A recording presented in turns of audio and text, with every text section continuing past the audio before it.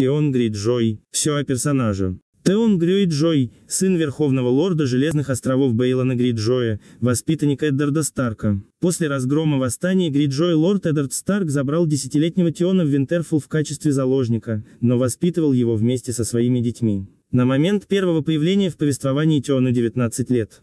Тион, младший из детей Бейлона Гриджоя и Аланис Харлоу, младший брат погибших во время восстания Родрика и Марона, а также единственной дочери Бейлона, Еры Гриджой по книгам ее зовут Аша. Внешность и характер по книге. Худой, смуглый, красивый, черноволосый, с узким лицом. Легкомысленный, высокомерный, самоуверенный, постоянно усмехается, как будто во всем находит смешное. Умен, обладает дедуктивными способностями. Любит женщин, охоту, красивую одежду и украшения. Одевается в цвета гриджаев, черное с золотым кракеном. Прекрасный лучник. Дружен с Робом Старком, тот наслаждается обществом Тиона и восхищается им. Джон снова относится к Тиону неприязненно, а Бран, как и остальные Старки, отзывается о Тионе довольно прохладно. В книге Тион прожил у Старков 9 лет до событий сериала. Сцена казни Сера Родрика в какой-то мере слеплена из двух книжных эпизодов с участием Тиона, плевок в лицо и отданный Тионом приказ о казни из боязни ударить лицом в грязь перед своими людьми отсылают к утоплению Бенфреда Талхарта на каменном берегу,